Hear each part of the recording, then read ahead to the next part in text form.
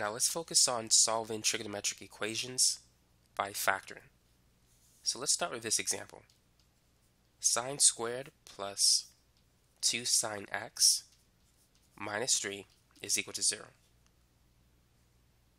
So how can we figure this out? Well, you could factor by substitution if you want. Let's pick a variable.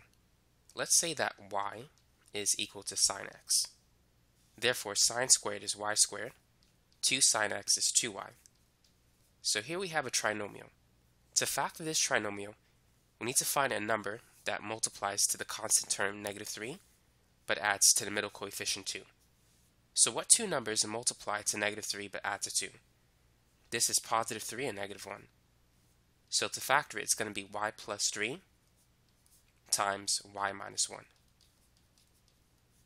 Now we can replace y with sine. So we have sine x plus 3 times sine x minus 1 is equal to 0.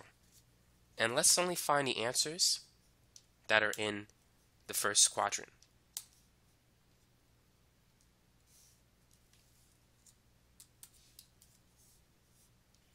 Now we need to set each factor equal to 0.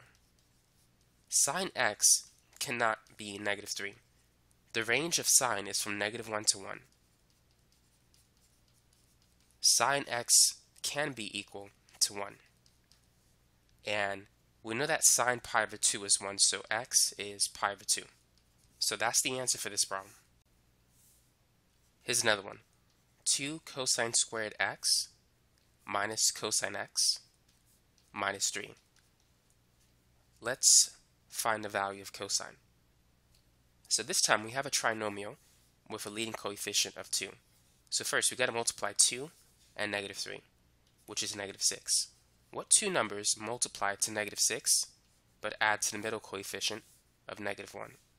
So this is negative 3 and 2. Now the way we factor this particular trinomial is different from the last example because of this coefficient. So what we're going to do is replace negative 1 cosine with positive 2 cosine x and negative 3 cosine x. So the 2 and the 3 comes from these two numbers. Next, we're going to factor by grouping. In the first two terms, let's take out the greatest common factor, which is 2 cosine x. So this leaves behind 2 cosine squared divided by 2 cosine is simply cosine. And 2 cosine divided by itself is positive 1. Now, let's take out the GCF, or the greatest common factor, in the last two terms. So let's take out negative 3, and this will give us cosine x plus 1 again. So now let's factor cosine x plus 1. So we're just going to write it once in the next line, and then the stuff on the outside will go in the second parentheses. So that's 2 cosine x minus 3. Now let's set each factor equal to 0.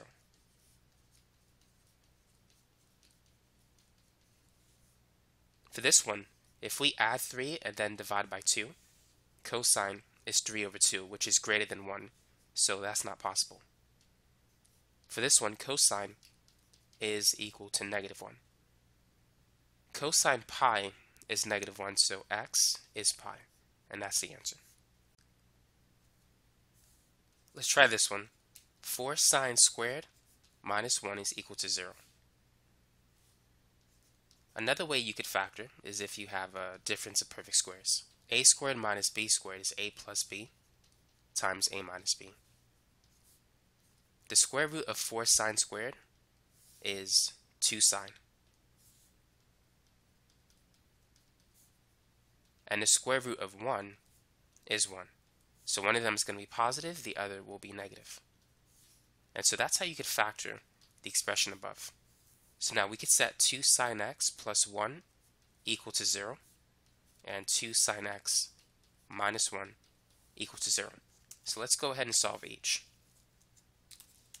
So if we subtract 1 and then divide by 2, we can see that sine is negative 1 half And here, we need to add 1 and then divide by 2, so sine is positive half.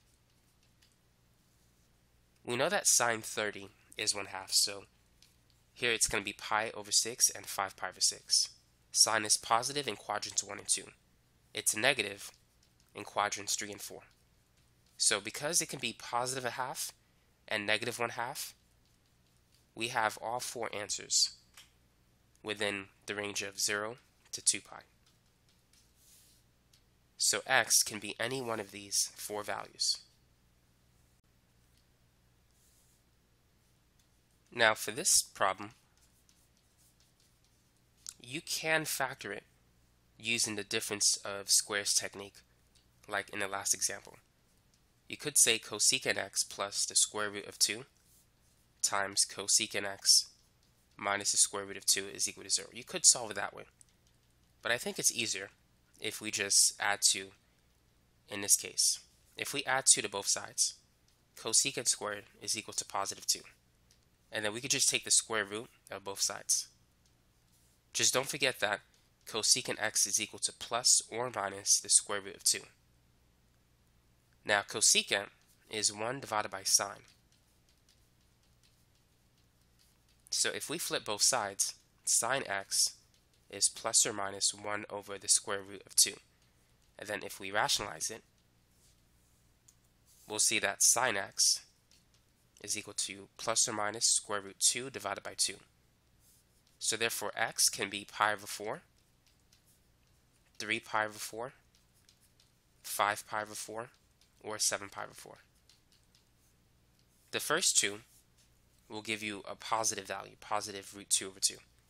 The second two or the last two, that's going to give you the negative value. Sine is negative in quadrants 3 and 4. So sine 5 pi over 4 is negative square root 2 over 2. But for this particular problem, these are the answers within the range 0 to 2 pi. Go ahead and solve this particular trigonometric equation. Let's say that sine 2x is equal to cosine x. How can we find the value of x? Well, first, what we need to do is use the double angle formula of sine. Sine 2x is equal to 2 sine x times cosine x.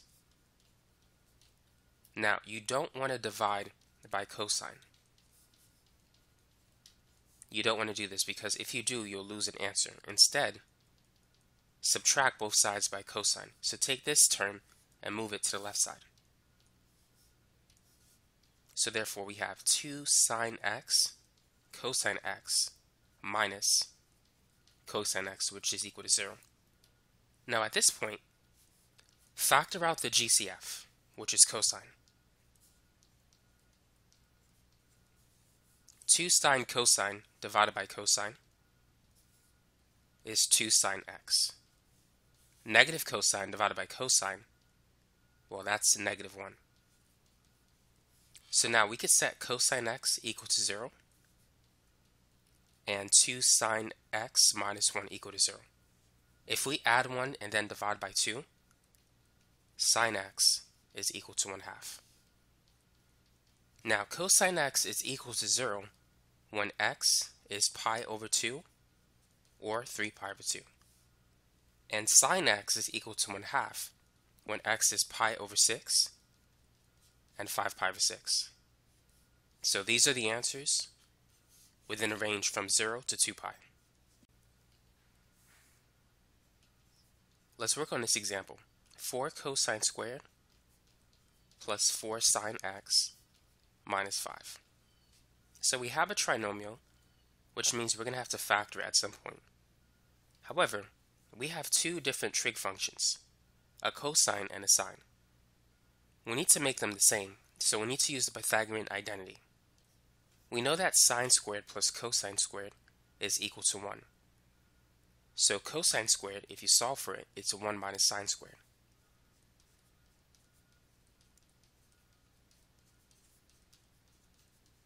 So we need to replace cosine squared with 1 minus sine squared. Now let's distribute 4 to 1 and to negative sine squared. So this is going to be 4 minus 4 sine squared plus 4 sine x minus 5. 4 minus 5 is negative 1. So this is what we now have. Now we need to multiply both sides by negative 1, just to get rid of the negative in front of sine squared. So now we have 4 sine squared minus 4 sine x plus 1 is equal to 0.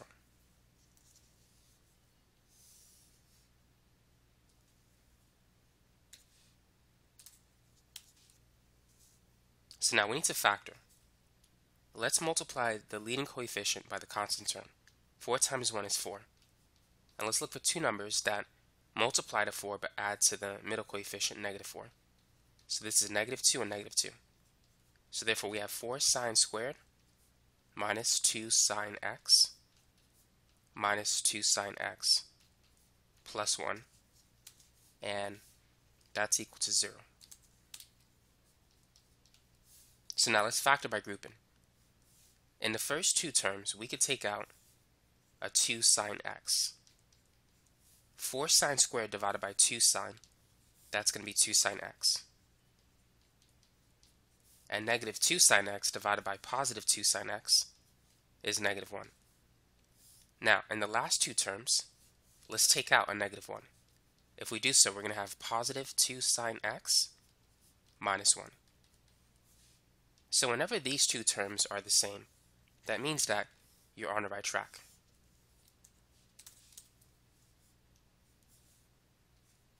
So just write that expression once, 2 sine x minus 1. And here we also have another 2 sine x minus 1. So this is a perfect square trinomial.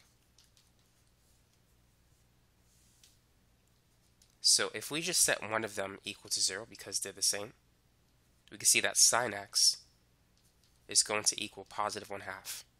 And so x has to be pi over 6, which is 30 degrees, and 5 pi over 6. Sine pi over 6 and sine 5 pi over 6 is positive 1 half. So those are the answers in the range of 0 to 2 pi. Here's another example. Let's say that cosine 2x is equal to cosine x.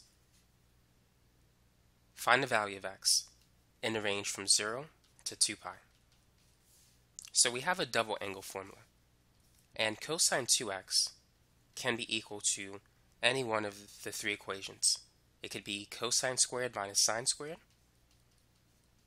You could set it equal to 2 cosine squared minus 1 or 1 minus 2 sine squared. Which one should we use?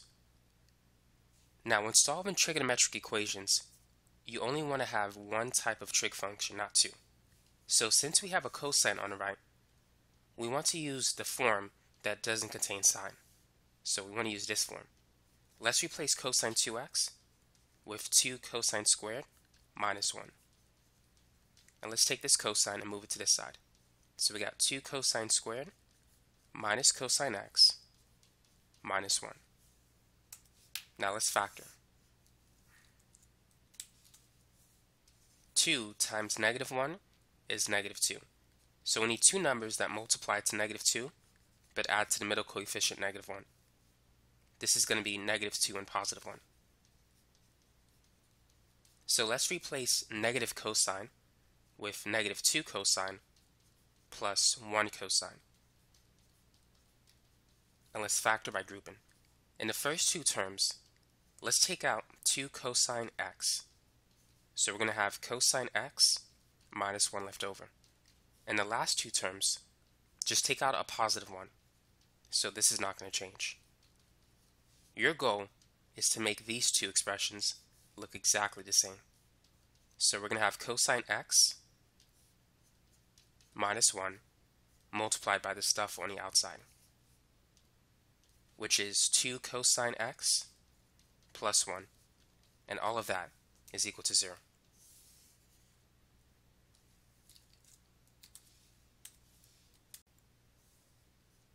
Now let's set cosine x minus 1 equals to 0 and the other factor equal to 0. So adding 1 to both sides, we have that cosine x is equal to 1. If we subtract by 1 and then divide by 2, cosine is also negative 1 half. Cosine x is equal to 1 when x is 0 or 2 pi. However, our answer does not include 2 pi. We have a parenthesis here, so we're just going to use 0 only. Now cosine is negative 1 half when x is equal to 2 pi over 3 and 4 pi over 3. Keep in mind cosine of 60 degrees, the reference angle, has a value of positive 1 half. 60 is pi over 3, so we need that angle in quadrant 2 and 3 where cosine is negative. And 2 pi over 3 and 4 pi over 3 exists in quadrants 2 and 3. So these are the answers. x can be equal to 0, 2 pi over 3, or 4 pi over 3. And so that's it. Now I have a question for you. Let's say if sine x is equal to the square root of 3 divided by 2. To solve this equation, can we say that x is equal to the arc sine of the square root of 3 divided by 2? Can we say that? Well, you need to be careful because the sine function goes on forever. However, the arc sine function does not. It's restricted. So therefore, whenever you're dealing with this equation, with sine and you want to solve for x, you can get an unlimited number of answers. When you're dealing with the arc sine or inverse sine, you're only going to get one answer. So make sure you understand the difference. So to make this equation true, x can be pi over 3 plus 2 pi n. So it could be pi over 3, it can be 7 pi over 3, it can be uh, 13 pi over 3, and so forth. And also, x can be 2 pi over 3, because sine is positive in quadrant 2. So it could be 2 pi over 3 plus 2 pi n. So you have an unlimited number of answers that makes this equation true. When dealing with arcsine, there's only one true answer. Arc sine does not exist in quadrant 2, only in quadrant 1. And the range of it is between negative pi over 2 and pi over 2. So the only answer that works for this expression is simply pi over 3. It's not going to be 2 pi over 3. It's not going to be 7 pi over 3. It's just pi over 3. So if you're solving sine functions and cosine functions in this format, you have an unlimited number of answers. Keep that in mind. But when dealing with an inverse trig function, typically you only get one answer.